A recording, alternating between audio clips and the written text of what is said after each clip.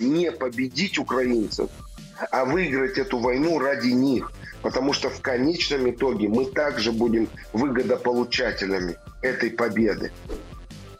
Там, где предел прочности коллективного Запада заканчивается, у славянской цивилизации он еще не начинается. Я считаю, что именно британцы и будут той движущей силой, которая э, подставит своего э, клиента Зеленского, уберет его с поста, поменяет на Залужного и через Залужного будет вести переговоры с русскими.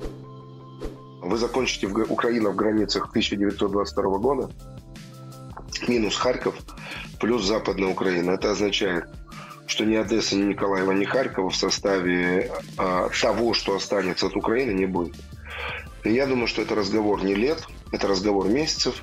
Я думаю, что в третьем-четвертом квартале 2024 года начнутся уже как минимум контакты группы по выработке условий и правил ведения переговоров по завершению этого противостояния.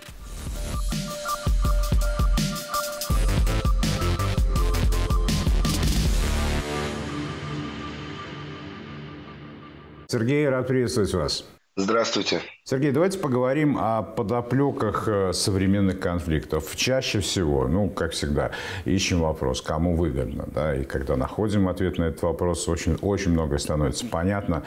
А, самый близкий и самый ну, больной для нас конфликт, который сейчас происходит на территории Украины, да, он это проявление более больших глобальных процессов, но, но это проявление происходит рядом с нами и льется славянская кровь э, наших э, родственников. И это нас ну, не может а, оставлять равнодушным. Кто выигрывает, кто проигрывает, я сейчас не о линии боевого соприкосновения, там своя история, а о том, что происходит в тиши э, кабинетов.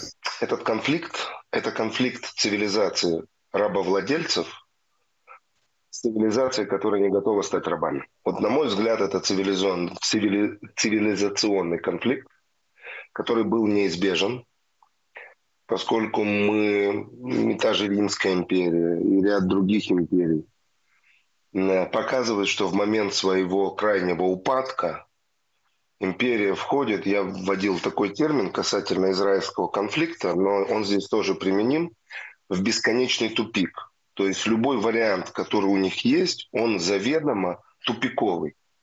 Но тупиковый вариант для империи, которая рушится, это всегда кровь. Причем на начальном этапе это кровь чужих народов с продолжением, с переходом на кровь своих. И мы это с вами еще будем наблюдать и на территории э, райского сада Европейского Союза и даже вплоть до территории Соединенных Штатов Америки. Я не говорю о гражданских войнах. Нет, нет, нет. Я говорю о тех конфликтах, когда м- политический класс не готов, который вырос из лона этой цивилизации рабовладельцев, дойдет до такого тупика, когда будет убивать собственных граждан. Я, как человек, который пять лет прожил в Африке, точно знаю чуть-чуть больше, чем остальные, что такое европейская западная коллективная цивилизация. Я видел ее результаты, столетних, двухсотлетних, причем находясь там постоянно. Поэтому, когда мне говорят про западную цивилизацию, ничего кроме улыбок у меня это не вызывает, если честно. Поэтому это конфликт цивилизационный. Больше того, мне кажется, зачастую, зачастую люди не всегда дают верную оценку. У нас считается политика как верх реализации чего-либо. На самом деле это всего лишь то, что мы видим. Главное, на мой взгляд, это все-таки философия. Та система идеалов и ценностей, которая лежит в основе общества. Потом экономическая теория, которая создана на базе этой философии.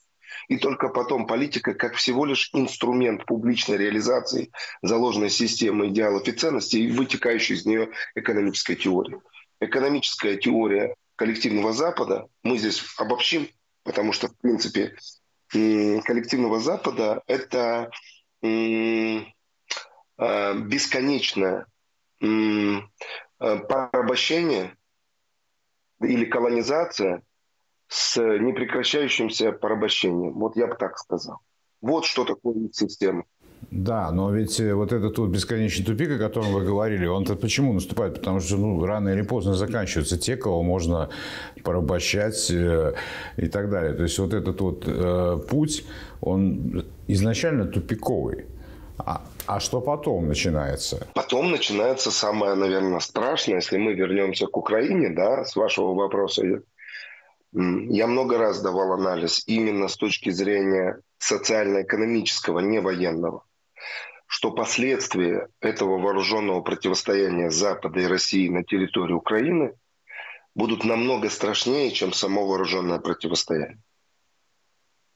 И зачастую люди не хотят понимать, что эм, историческая культура в кавычках Запада это если актив перестает быть ликвидным, его просто бросают на произвол судьбы. И это мы можем посмотреть на десятках, если на сотнях примерах по, за все 500 лет, начиная от Португалии и заканчивая сегодня да, результатом Бреттон-Вудской конференции, там, Соединенными Штатами Америки и так далее. Вот мне кажется, что, э, вернее, даже я уверен, что многие украинцы на сегодняшний момент, э, будучи зажаты в определенный пропагандистский эмоциональный фон, вот, они застряли в прошлом и в настоящем. То есть они о будущем боятся думать. Они перестали быть ликвидным активом, но они боятся в этом себе признаться.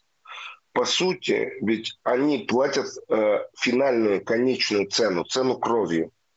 Когда вас вынуждают ваши партнеры в трех кавычках платить э, своей кровью, это значит, что вы им просто для будущего не интересны. Очень непонятно мне, как очевидные вещи для них настолько, скажем так, непонятны, что партнер, он если и идет на войну, то он идет с тобой на войну. Он не толкает тебя на войну. Давайте вспомним Великую Отечественную войну. Вы как белорусский, э, вы как белорусское агентство, да, э, центр партизанского движения да, в Советском Союзе, тот же Корж, Пономаренко, многие другие да, символы. Ведь э, так же не было, что э, шли белорусы воевать, и русские там, а украинцы, молдаване и армяне сидели дома. Или наоборот, да, в райском саду где Воевали все. Это была одна нация, это была одна цивилизация, где разговор шел о их выживании. Здесь же украинцы отказываются, им, они придумали, что они должны умирать ради чего? Ради европейских ценностей, которые нам, представителям славянской цивилизации, чужды.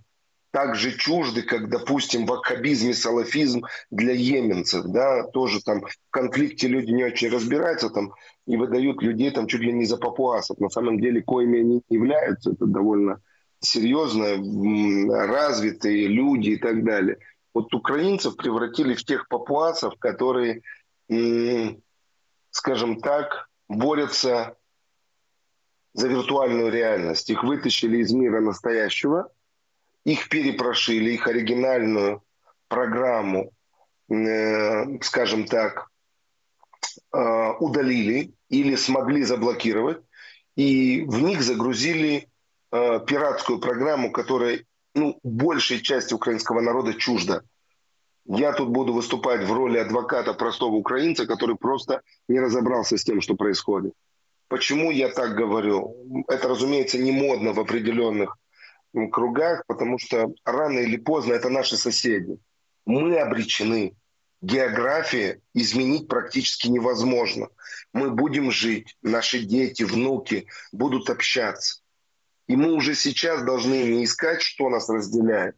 Мы те, кто сохранили способность к критическому мышлению, а сконцентрировать свои какие-то интеллектуальные, э, другие, э, э, другой потенциал для того, чтобы готовиться выиграть войну за мир для украинцев. Не, у, не победить украинцев, а выиграть эту войну ради них. Потому что в конечном итоге мы также будем выгодополучателями этой победы. В каком обозримом будущем это возможно, на ваш взгляд? То есть пока э, то, что мы сейчас наблюдаем, сложно говорить о борьбе за мир. Во всяком случае, не видно, чтобы стороны э, проявляли хоть э, ну, какое-то подобие желания мирно решать этот конфликт. Кого мы воспринимаем в качестве сторон? Вот давайте тут очень важно, Юрий, кого мы воспринимаем в качестве стороны. Украину, она не является стороной, она является инструментом конфликта. Если хотите, человеческим ресурсом этого конфликта, который кидает в топку. Если мы возьмем США, Британию как сторону, сторону конфликта, то я глубоко убежден, что британцы уже ведут переговоры, используя Украину как разменную монету для обеспечения более выгодного положения перед США. Убежден, что какие-то контакты между Российской Федерацией и британцами уже имеют место быть, и есть косвенные доказательства того, что один из этих контактов состоялся в визит расширенной делегации Российской Федерации в Объединенные Арабские Эмираты, в результате которого так потом э, была выпущена лицензия о разблокировке транзакций по корреспондентским счетам Сбербанка с 15 по 22 декабря, что является ну, косвенным, но почти прямым доказательством определенных контактов. Поэтому желание там, вот этих вот ребят, которые себя называют украинской властью, ну, к ним серьезно без, на, на них без слез не взглянешь, поскольку они находятся в таком отчаянии, что они не способны критически мыслить, пытаясь э, бегают между Вашингтоном, Лондоном, пытаясь получить больше гарантий, понимая, что за все, за все, что они натворили, их физическая жизнь равна длине их нахождения у, у, у официальных должностей. Поскольку они являются, на мой взгляд, носителями такой информации, для которой они прежде всего опасны для своих же хозяев, которые их поставили. У Запада нет желания или нежелания у Запада, у коллективного, я сейчас Европу не включаю в этот Запад, я говорю о Британии и США, их цель и задача – это прийти с наиболее сильными переговорными позициями по итогам выборов в марте в России и в ноябре в Соединенных Штатах Америки. Они сейчас создают себе переговорные позиции. Сколько ради этого должно погибнуть украинцев? Еще 100 тысяч, полмиллиона. Ну, по сути, для них это всего лишь цифры, которые не, ничего для них не представляют какого-то, скажем так, ценностного значения.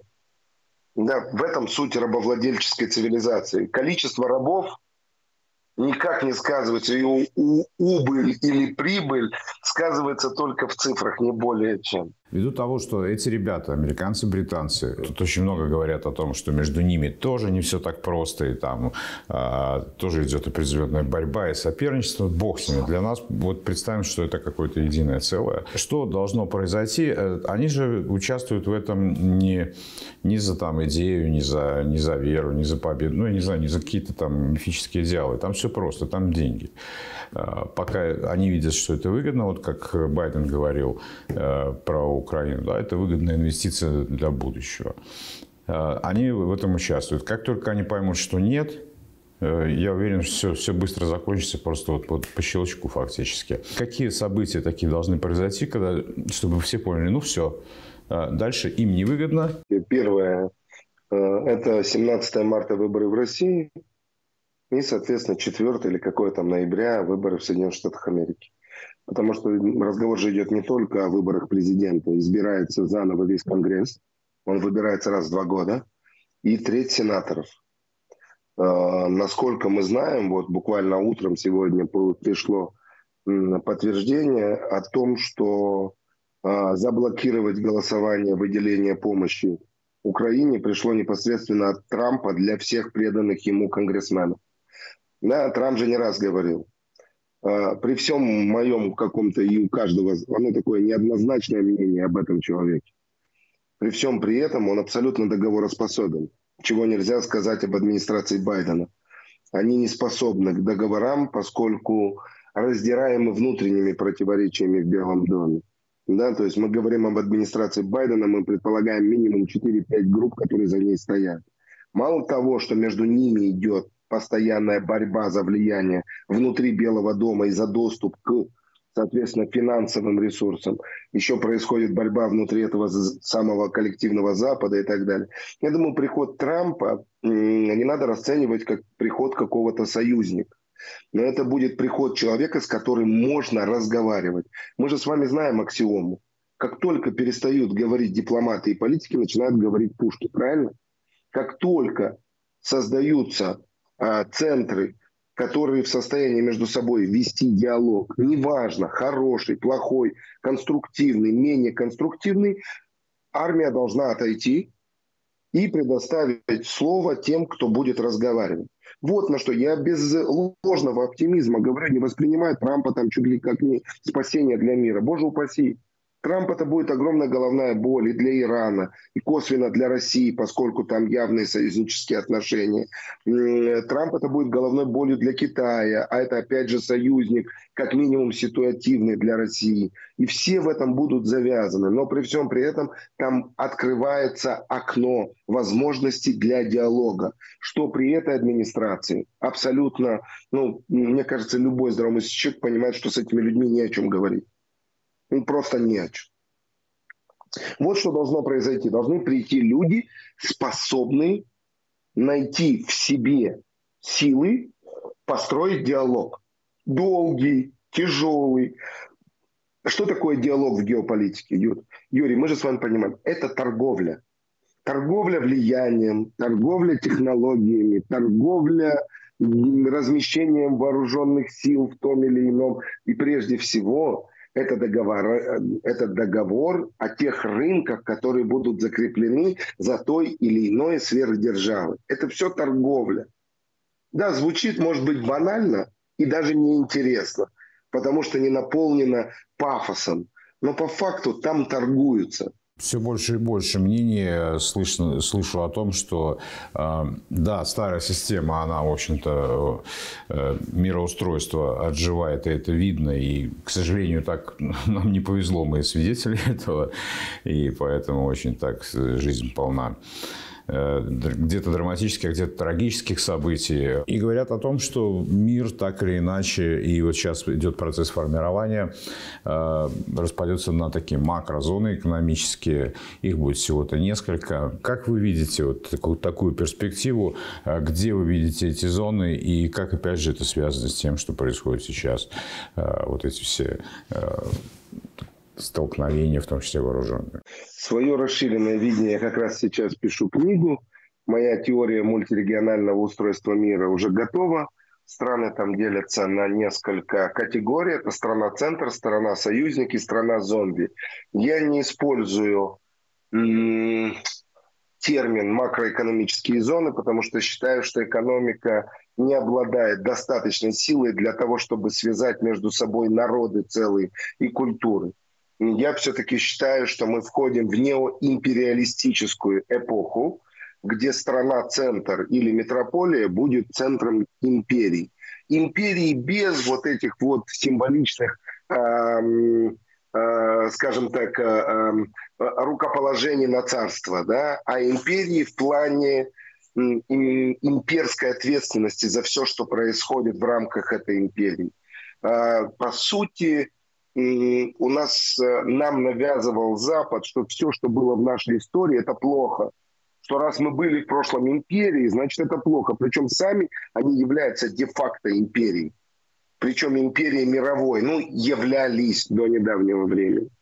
Да, эти империи, они будут очень важны. На определенном этапе времени это у нас точно будет Аукус, это у нас будет империя с э, центром в России славянская цивилизация, это будет э, китайская цивилизация, Пекин, под большим вопросом Индия, Нарендра Моди пока ну, для меня непонятно, на что он рассчитывает, заигрывает то с США, то с Британией, то еще с кем-то. Пока я вижу мало, мало наполняемости суверенитета, то есть личной ответственности. Он все ищет, с кем бы эту ответственность разделить, кто бы ему помог, но я думаю, что забывают они свое прошлое под э, Британской империей. Однозначно, что Лондон сейчас ведет эту большую игру для того, чтобы получить свою мини-империю, для того, чтобы опять не стать вторым номером, как по результатам Бреттон-Вудской конференции. Ротшильды хотят, э, хотят э, реванша и не скрывают этого. И не скрывают этого. Да, то есть, э, но я думаю, что э, у них есть все шансы для этого. Как это все будет? На начальном этапе империи будут заниматься перезагрузкой, потому что это будет другой мир. Огромная работа должна быть, нужен или полностью переформатирование Организации Объединенных Наций, или нужно создание другого органа, где эти сверхдержавы империи смогут вести разговор о мироустройстве, о его создании раз, о выработке системы его функционирования два, и, разумеется, система сдержек и противовесов для недопущения исчезновения человеческой цивилизации в целом. Огромная работа. И уже дальше пойдет система э, финансовых взаимоотношений, э, влияние на рынки, э, кто какая. Но вот это вот, э, поэтому я и говорю, что Китай это все-таки ситуативный союзник России, потому что как только они будут призваны в качестве двум, двух империй, между ними начнется и конкуренция, огромная конкуренция, чего только стоит та же Центральная Азия. Да, Казахстан, Таджикистан, Узбекистан, Киргизстан, Туркменистан – это все-таки очень э, вкусный регион, который Китай имеет весьма посредственное отношение, потому что мы забываем э, о различиях культурных, интеллектуальных, э, э, я бы даже сказал, культурных, исторических, ментальных, самое главное, ментальных. Э, а Россия, я так понимаю, ни Южный Кавказ, ни Центральную Азию отдавать никому не собирается от слова совсем. Поэтому э, Китай будет действовать в своем э, азиатско-тихоокеанском регионе. У Си Цзиньпиня огромная проблема. Ему, он, он обещал в обращении к нации на Новый год да, восстановление един, единства Китая, да, то есть материкового и Тайваня. У США также э, э, ему необходимо наладить свои связи и с Канадой, и с Австралией, углубить их и решить внутренний конфликт. Одновременно с этим глобалисты пытаются реализовать на территории Западной Европы э, так называемый карбоновый пропуск с ЛГБТQ-повесткой э, и социальным рейтингом, а глобалисты в Северной Америке пытаются реализовать у нас э, ЛГБТQ раз, но с переходом э, к безусловному базовому доходу. Вот это вот концепция безусловного базового дохода, когда Э, люди превращаются в овощи вне зависимости от твоего образования, рода деятельности, компетентности и так далее. Каждый месяц ты получаешь свой чек. Главное, и величина этого чека будет зависеть от твоей лояльности э, правящему классу. А, об этом у нас говорят почему-то очень мало, хотя на самом деле они находятся в полной реализации этого всего. И эм, мне кажется, это сделает э, Аукус э, очень неконкурентоспособным регионом поскольку они пытаются уничтожить, э, они выбрали не развитие человеческого потенциала, а превращение его в безмолвную, э, согласную на все массу. А на мой взгляд, славянская цивилизация самая конкурентоспособная, Юрий, по одной простой причине. Если у либерального мира люди – это человеческий капитал, то у нас, казалось бы, всего одно слово, да? это человеческий потенциал. И вот это самое главное наше различие от них. Поэтому они никогда не смогут нас победить, они никогда не смогут нас поработить и не смогут нас подчинить. Потому что мы по сути другие. Когда начинался этот конфликт на Украине, я давал одно интервью, и меня спросили, вы понимаете, что Россия обречена? Я заулыбался. Меня спросили, почему вы улыбаетесь? Я говорю, да очень просто. Там, где предел прочности коллективного Запада заканчивается, у славянской цивилизации он еще не начинается. Вы просто этого не понимаете. В этом огромная проблема тех, кто является специалистами по э, славянскому миру в, на Западе. Там Касьянов, Каспаров, э, кто там, Ходорковский. Я говорю, эти люди не имеют никакого отношения к цивилизации.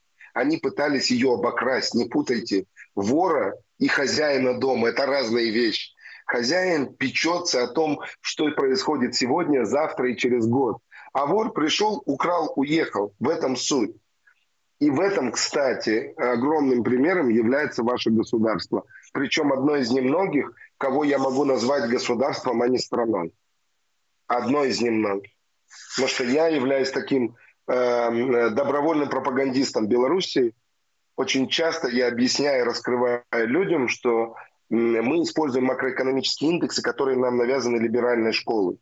Но если ввести вот новый макроэкономический, ну, понимаете, суть, я все-таки больше занимаюсь макроэкономикой, и мы пытаемся языком либералов ну, э, послушайте, 30 лет, 30 лет в наших вузах рассказывали, как должна быть устроена э, экономика, и рассказывали именно оттуда. И что мы хотим сейчас? Сейчас эти люди уже в большинстве случаев занимают очень серьезные посты. Я не говорю сейчас э, там, про конкретно там, Беларусь, Россию, Молдову. Я имею в виду вообще вот все наше бывшее постсоветское пространство. И, и, и с ними, естественно, сейчас сложно. И, и им сложно. Э, вот тут такое все вместе. Вот если возьмем, допустим, Белоруссию, да, вот введем новый макроэкономический показатель.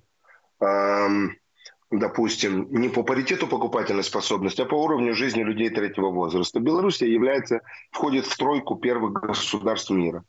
Потому что средняя семья пенсионеров в Беларуси с пенсией среднего уровня может себе за одну пенсию позволить в Минске, на секундочку, оплатить все коммунальные услуги, плюс телефон, интернет и так далее за год. Если мы возьмем это в качестве одного из макроэкономических показателей, то мы с вами удивимся, потому что так называемые развитые страны и близко по этому показателю к белорусским пенсионерам приблизиться не могут. Вот вам простой обычный пример. Ну и там мы возьмем средний, уровень, э, средний возраст жизни в Беларуси соответствует уровню жизни самых развитых стран. У вас для мужчин средняя, по-моему, продолжительность жизни 69 лет, для женщин 79, общий по палате 74,5 года. Это на самом деле очень высокий уровень жизни, выше, чем на многих, ну, прибалтийских государствах, по-моему, в, только Литва, по-моему, выше, чем Беларусь. Все остальные ниже. Но об этом никто не говорит. Да? Все привыкли говорить вот какими-то пропагандистскими нарративами о том, что м- Белоруссия сохранила Беларусь вообще, на мой взгляд, это такой очень хороший пример реализации третьего э, закона диалектики Гегеля отрицания отрицания. Когда развитие происходит не за счет отрицания всего, что было в прошлом, а э, берется в будущее все лучшее, что было в прошлом, попытка его трансформировать и э, интегрировать в будущий процесс. Да, разумеется, это происходит очень сложно. Да, разумеется, мы, славянская цивилизация, имеем одну системную проблему. Это отсутствие эффективной системы управления. Она свойственна всем. И белорусам, и русским, кому угодно. И России, и Беларуси, и так далее. Но э, э важно, знаете, как говорят, 50% решения проблемы – это ее признание. Вот нужно признать, что у нас действительно есть проблема. Это создание эффективной системы управления. То, что нам пытались навязать со стороны Запада корпоративную систему управления, она нам чужда. Так Это не, не работает же, не работает. Причем не работает на, ни на каком уровне. Ни на там, Вообще, уровне да. маленькой компании, там, где 5-10 человек работает, э, ни на уровне большого предприятия, ни, ни уже говоря там э, повыше. Не работает. Вот этим должны заниматься серьезные люди, которые готовы посвятить этому жизнь. Мне кажется, что есть огромные проблемы. Вот Сейчас Россия где-то шатко-валко пытается это сделать. В Беларуси пока не вижу, но я думаю, что в следующем году это начнется, и может быть даже в этом. Это создание центров.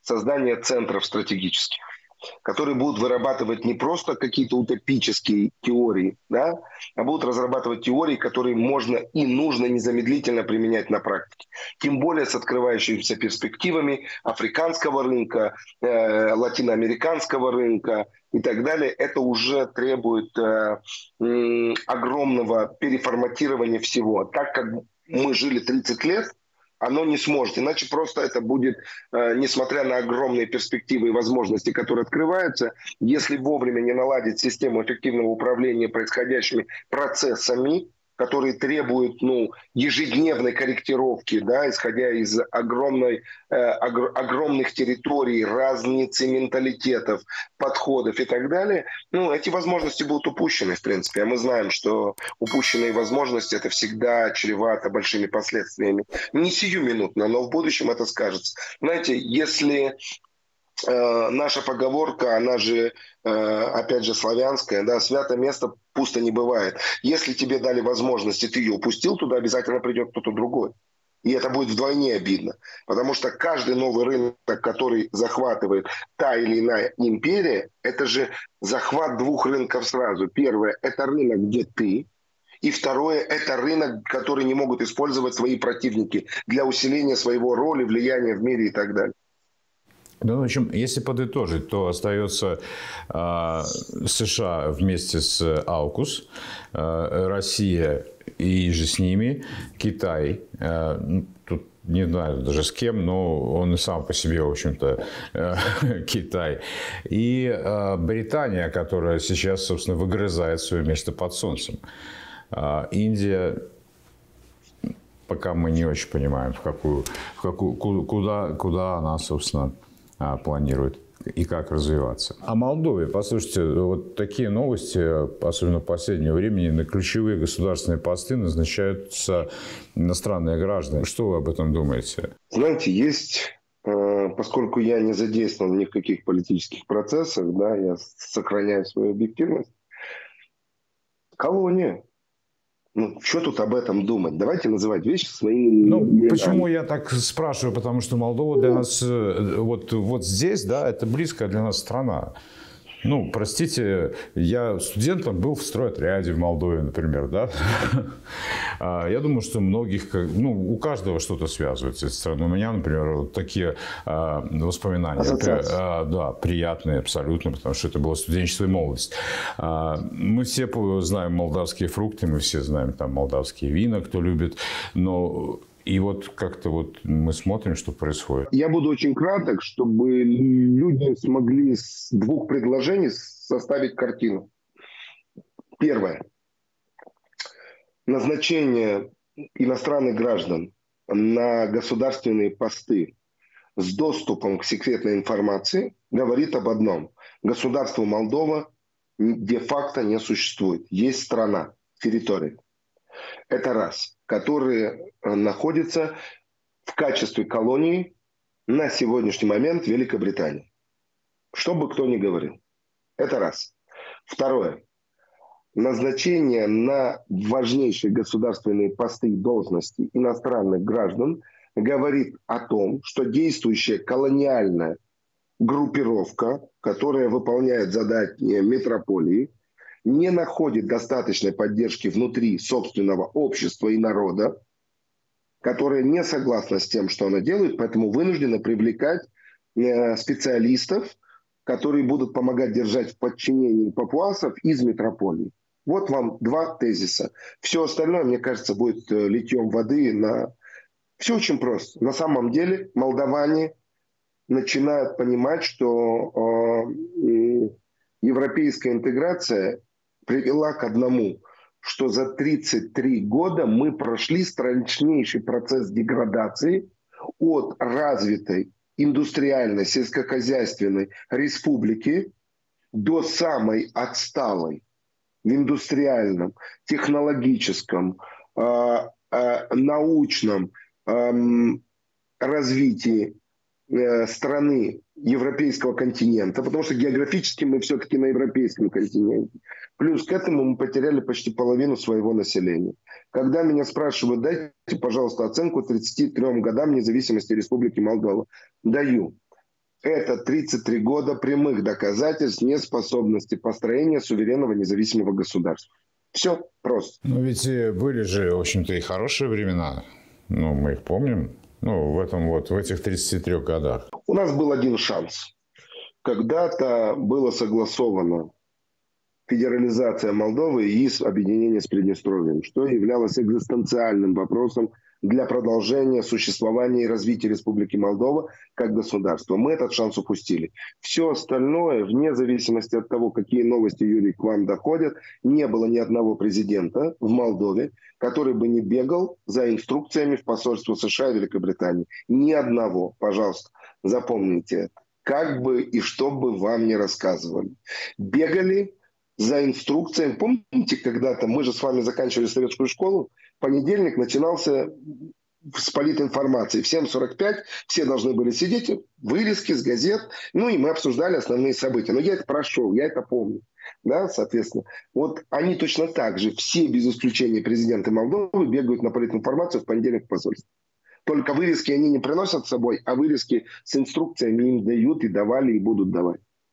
В этом наша главная проблема. А почему Молдова, на ваш взгляд, вот вы говорите, британцы там а, рулят абсолютно. Почему именно они э, решили вот там застолбиться, что ли, не знаю, как тут правильно его сказать? Мы же идем в качестве, скажем так, в советское время было, а, у нас был такой дефицит хороших а, хороших книг, если помните. И поэтому ввели такое, ты покупал там, допустим, серию там Дюма, и тебе давали в нагрузку какие-то кулинарные рецепты. Вот Молдова – это нагрузка к Украине.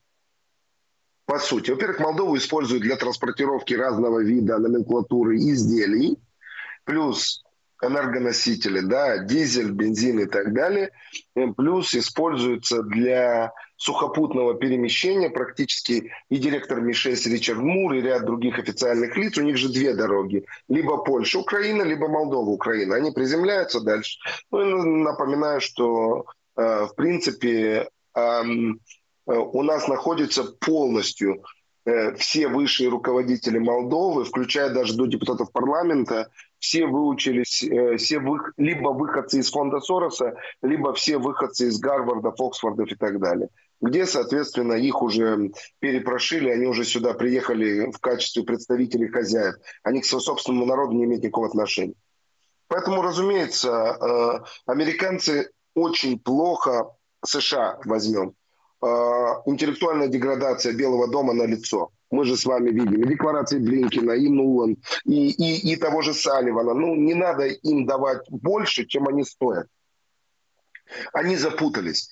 А вот британцы, на мой взгляд, со своим имперским интеллектом и самой эффективной системой управления, они конкурентоспособны с минимальными ресурсами, достигают максимальных результатов. Надо отдать им в это должное. Я могу считать их за своих противников, но это не лишает меня возможности объективно давать оценку.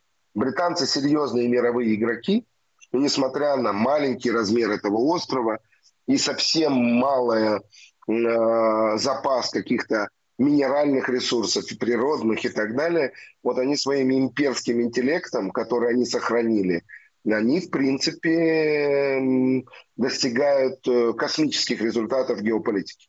Это нужно отдать им должное.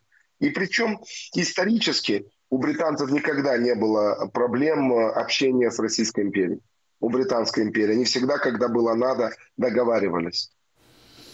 Но ну, при этом, при этом уже несколько столетий это просто постоянное соперничество, если, если не сказать больше. То есть, ну, э, государства считают, ну, не считают себя друзьями. Давайте так, я мягко очень выражусь. Возможность говорить, это не означает быть союзниками. Это означает уметь вовремя остановиться, договориться и дальше начать конкурировать. По сути, британцы в этом плане молодцы. Я понимаю, что нам неприятно об этом говорить. Я когда вижу, что творит Ричард Мур, директор Ми-6, но этому человеку должны в Лондоне поставить памятник. Потому что, посмотрите, одновременно, что он делает. Он и Эрдогана держит под колпаком, и Польшу держит под, под, под колпаком, и Зеленского смог перетянуть из-под влияния Белого дома под Даунинг-стрит и так далее, под Ми-6. На самом деле это гениально то, что они творят. Ну, просто гениально. Причем я считаю, что именно британцы и будут той движущей силой, которая э, подставит своего э, клиента Зеленского, уберет его с поста, поменяет на Залужного и через Залужного будет вести переговоры с русскими. А Залужный нужен по одной простой вещи на Украине. Это человек, который, безусловно, пользуется авторитетом в вооруженных силах Украины. Безусловно. К этому можно относиться по-разному. Но поскольку будут минимум три группы людей, которые будут выступать против любых переговоров, Первое – это люди, которые потеряли своих близких, и я здесь их не осуждаю, я просто констатирую факт. Да, они потеряли своих сыновей, мужей, отцов и так далее. Но это эмоциональный фон, он ничего общего с логикой, здравым смыслом не имеет. Третье – это те люди э, в ВСУ, которые не готовы, да и в принципе не могут интегрироваться в мирную жизнь. И четвертое, это те, э, и третья группа, извините, Это так называемые лорды войны, которые на этом зарабатывают огромные состояния и политическое влияние, которые будут выступать против любых переговоров, поскольку это означает конец их эпохи. Придут другие. И вот тогда Валерий Заложный, который всегда сможет выставить минимум 250 тысяч преданных ему солдат, сможет купировать эти проблемы. Выступления, митинги, попытки госпереворотов и так далее. Для этого нужен человек, обладающий реальной силой у которого есть, помните, То есть вы считаете, что он э, сменит рано или поздно Зеленского? Я думаю, что другого человека, который может вокруг себя собрать. Помните, такое было во время революции, там, гражданской войны? Сколько у него штыков? Вот человека, который может собрать четверть миллиона штыков и выставить их для соблюдения каких-то договоренностей, я другого не знаю на Украине. Может быть, вы знаете. Я нет. Вот видите, мы так или иначе вернулись к началу нашего разговора. Опять же, ваше видение, сколько это может продолжаться? Э, такие косвенные признаки. Ну вот, например, сейчас ЕС подписала да, там, на 4 года э, программу помощи на 50 миллиардов евро. Я не знаю, как это поможет украинской экономике. Скорее всего, никак, особенно если посмотреть на структуру этой помощи, а там почти все это кредиты, и, скорее всего, э, это, эти кредиты пойдут на погашение уже, уже процентов по кредитам, которые уже есть. В общем, там все сложно, запутано. Э, точно понимаю, что обычным людям, вот как вы говорили, вы адвокат обычного украинца, и вот вашим подзащитным от этого ни холодно, ни жарко, от этого, от этого пакета помощи. Но он рассчитан на 4 года. Э, вот, вот, вот тут можно обратить внимание на вот этот срок. То бишь э, в Европе э, субъектность европейских политиков и вообще всего Евросоюза тоже тема отдельного разговора. Но Поэтому можно судить, что вот примерно на такое время они где-то там и рассчитывают. Либо это ни о чем не говорит. Первое. 50 миллиардов пакет – 33 миллиарда евро – это кредит, и 17 миллиардов – это якобы прибыль от замороженных активов Российской Федерации. Я прям хочу посмотреть на того политика, который коснется денег, которые принадлежат ядерной сверхдержаве. Мне, правда, интересно просто посмотреть на него. Потому что когда они коллективное решение принимают, да, оно как бы обезличенное, но у каждого решения есть, стоит конкретная подпись. Вот кто эти, кто эти, эту прибыль заберет, мне прям интересно посмотреть. Во-вторых, опять же, те же кредиты 33 миллиарда. Дело в том, что у Европейского Союза их просто нет. Вот этого наличия финансовых средств у него нет. Я напоминаю, что летом они выделяли 8 миллиардов, они дошли до абсурда, они брали кредиты в коммерческих банках. Мне реально интересно посмотреть, где они возьмут вот эти плюс 33 миллиарда. Может быть, Польша откажется от 12 миллиардов евро, которые она в качестве, э, э, в, в, в качестве дотационного государства получает. Или, может быть, Греция откажется, или Болгария. Кто откажется в пользу Украины? Давайте посмотрим внимательно, как они реагируют на падение цен на э, грузоперевозки, как они блокируют границу с Украиной. Или что касается зерновых и сельхозпродукции, какая там у них братское взаимопонимание и взаимопомощь. Вот кто из них откажется ради Украины от, каких, от какого количества дотаций из Европейского Союза, из Брюсселя? Мне непонятно. Я считаю, что эти 50 миллиардов – это скорее лозунг, нежели реально выделяемые средства. Я напоминаю, что Европейский Союз выделил э, в районе 96 миллиардов за вот все время конфликта. 47, если мне не изменяет память, это финансовая бюджетная э, поддержка, 30 – это военная помощь, 18 миллиардов якобы потратили на украинских беженцев. Я напомню такую вещь, что Европа – это, наверное, один из самых коррумпированных Э, институтов, Европейский Союз, Европейская комиссия, чего только стоит закупка там вакцин Pfizer, Урсулы фон дер Ляйен, без соблюдения вообще каких-то э, процедур и так далее, на 70 миллиардов евро и так далее. Ну, об этом мало говорят, не модно, не в нарративах. Поэтому я думаю, об что, этом, скорее об этом всего... пытались эти... говорить, но как-то очень быстро тему замяли. Да, ну, умеют они в этом плане, надо отдать им должное. Нам у них учиться и учиться учиться и учиться. И этому стоит у них учиться. Потому что если ты не учитываешь сильные стороны своего противника, ты обречен на поражение. Учиться надо. Это неплохо. Я как раз в этом плане очень... Поэтому я не вижу в этих 50 миллиардах ничего. Насколько они помогут э, продолжать э, Украине воевать с Россией ради интересов Запада, да я думаю, вопрос закрыт по этому вооруженному противостоянию, уже закрыт. Меня часто спрашивают, чем это закончится. Я думаю, суть вопроса такой, да, Юрий? Чем это и когда? Чем и когда. Ну, это то, что это вопрос, который задают себе обычные люди всегда, когда такое происходит. Ну, потому что ну, то, что происходит, это противоестественно. Да? Это, это противоречит человеческой природе. Так не должно быть. Мы, тем более, природе людей, которые жили в одном государстве, э, росли на одних песнях, книгах, ходили в одну школу, одной веры, на секундочку. И тут столько всего одного. Все. Да, да, все и, да и, и то, что сейчас происходит, ну, это Ладно. Я как бы вначале сказал, давайте я побуду адвокатом украинцев, простых. А сейчас я стану их врагом, потому что я еще полтора года назад говорил в интервью, причем украинским ребятам, что вы закончите очень плохо. Вы закончите в, Украина в границах 1922 года, минус Харьков, плюс Западная Украина. Это означает, что ни Одессы, ни Николаева, ни Харькова в составе а, того, что останется от Украины, не будет. Я думаю, что это разговор не лет, это разговор месяцев. Я думаю, что в третьем-четвертом квартале 2024 года начнутся уже как минимум контакты группы по выработке условий и правил ведения переговоров по завершению этого противостояния. Дело в том, что у Запада больше нет ни ресурсов, ни э, Запад потерял цель этого конфликта. Давайте вспомним, Юрий, в чем была суть? Суть была, британцы пытались реализовать проект Междуморье версии 2.0 Пилсудского, да? И тут вы, как белорус, меня поймете очень хорошо, потому что Белоруссия часть этого проекта. Да, но только без нас этот проект не работает. А, а Абсолютно. А, я мы, к этому веду. А мы не захотели. А я со всем уважением. Я, правда, я очень нежно отношусь к Беларуси. Я бываю в Беларуси. Я люблю Минск. Я люблю белорусов. Мне с ними так легко, правда. Вот, вот все-таки, что такое ментальное единство, понимаете? Когда не нужно перестраиваться на понимание друг друга, когда говоришь, мало того, что на одном языке говоришь, еще и одними э, ценностями, понятиями и смыслами говоришь, одними.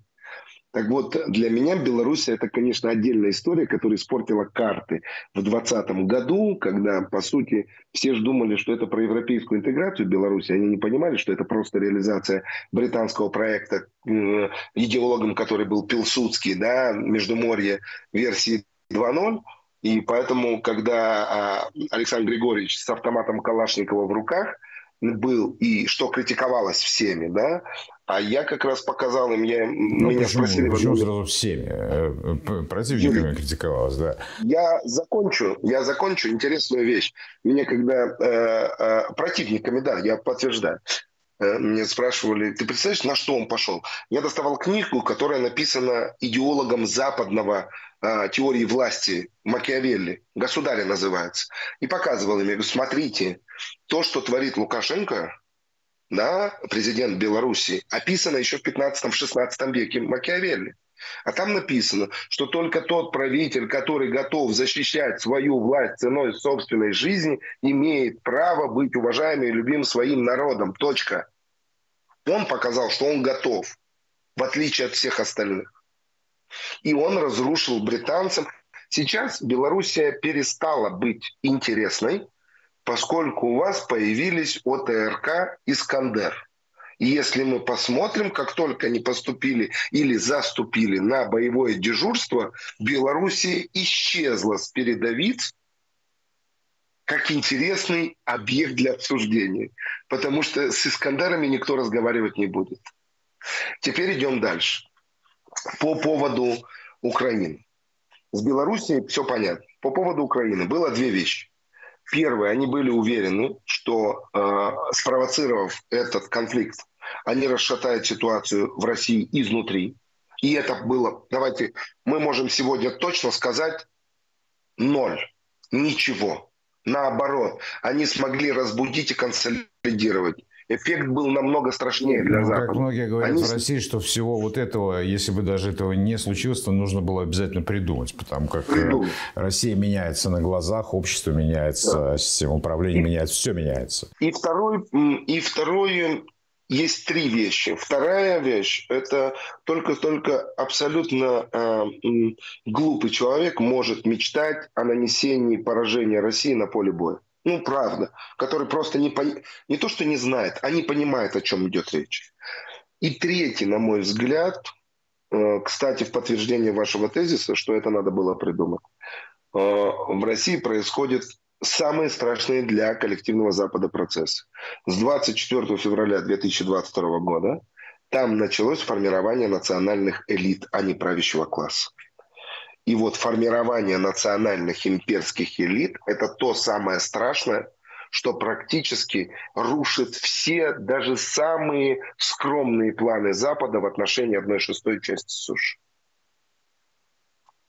Поэтому дальнейшее продолжение этой войны, во-первых, сверхдорого для Запада.